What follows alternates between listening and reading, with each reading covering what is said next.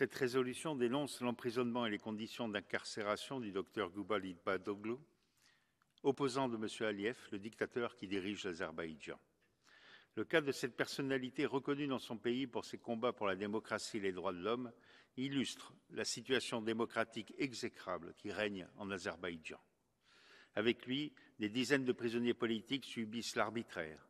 Ils sont journalistes indépendants, défenseurs des droits de l'homme, opposants politiques, etc.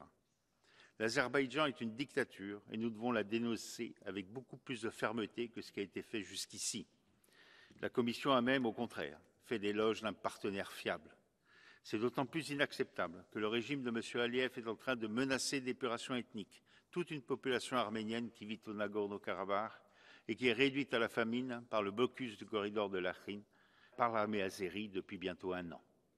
Nous voterons cette résolution et nous appelons le Parlement à prendre conscience du danger que représente une telle dictature à Bakou pour son peuple, pour les minorités, pour les Arméniens de l'Artsakh et pour la paix dans cette partie du monde.